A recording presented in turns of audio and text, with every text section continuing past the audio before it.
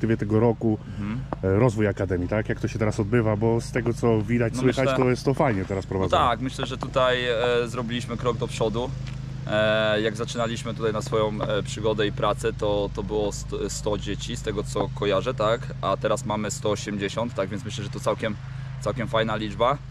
E, no i co? No i wtedy wydaje nam się po prostu, że to też idzie e, z jakością, czy to na treningach, czy, czy, czy po prostu gdzieś z, z tym, co robimy, jak to wygląda przy pierwszym zespole. E, Fajnie, że dzieci chcą do nas przychodzić i, i co, no cieszymy się bardzo. Teraz też jedziemy na Lech Conference, gdzie jadą, jadą praktycznie wszyscy trenerzy.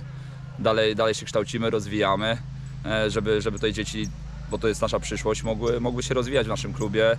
Tak więc myślę, że zrobiliśmy krok do przodu. Oczywiście wiem, że jeszcze wiele rzeczy mamy do zrobienia i do poprawy, no ale to jest proces i, i e, dalej będziemy ciężko pracować, żeby, żeby wychować jak najwięcej zawodników do ekstraklasy, ale też również do, do, tutaj do naszego zespołu Gryfa Sów, który mam nadzieję w przyszłości będzie w trzeciej, drugiej e, lidze i jeszcze wyżej. Tego życzę sobie i Wam wszystkim. Ale też fajnie by było podkreślić na przykład, że zawodnicy Akademii biorą czynny udział na przykład w meczach pierwszego zespołu poprzez wyprowadzenie zawodników. Tak, przykład, tak, To jest no też to, fajne dla tak, tak, to też jest fajne przeżycie. Teraz będziemy planowali też ich wprowadzić do, do szatni e, po meczu, żeby zobaczyli jak to jest.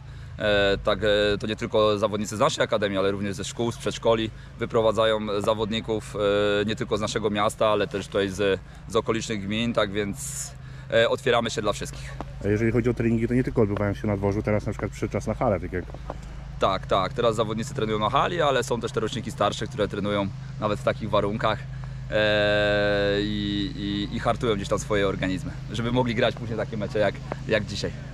super, dziękuję.